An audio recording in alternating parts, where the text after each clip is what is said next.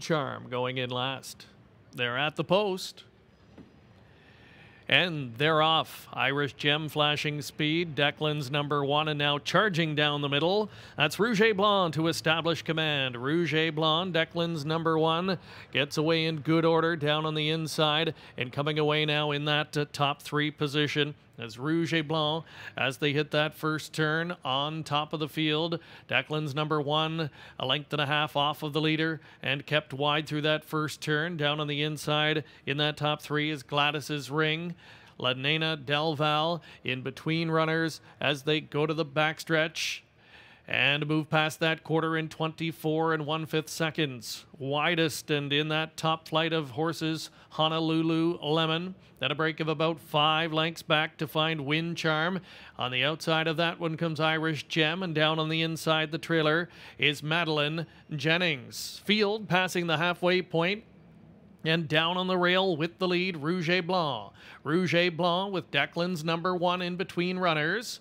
Out there in third position, length and a half off the lead now. Honolulu Lemon, ground saving all the way, has been Gladys's ring, and Gladys's ring now urged along and is getting closer to the leader as they come to the top of the stretch. The leader continues to be Rouge Blanc. Rouge Blanc says, Catch me if you can. Here's Gladys's ring now, swinging wide for the drive, and Irish Gem starts to pick them up on the far outside of the racetrack. Here comes Irish Dead with Day and Dame on the outside. Irish Gem coming after Gladys's ring. Declan's number one is there in third position, but Irish Gem draws clear and starts to open up at the tote board. It's going to be Irish Gem, seven to one winner to kick off the pick four. Gladys's ring held second over a closing wind charm, and fourth went to Declan's number one.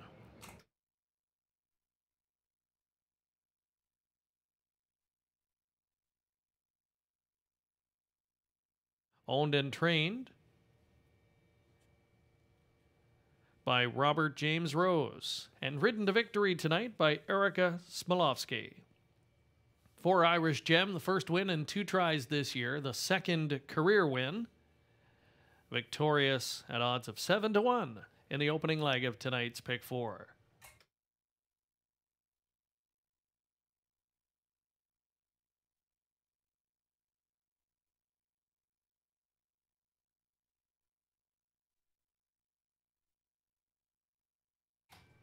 Irish Gem returning 1790.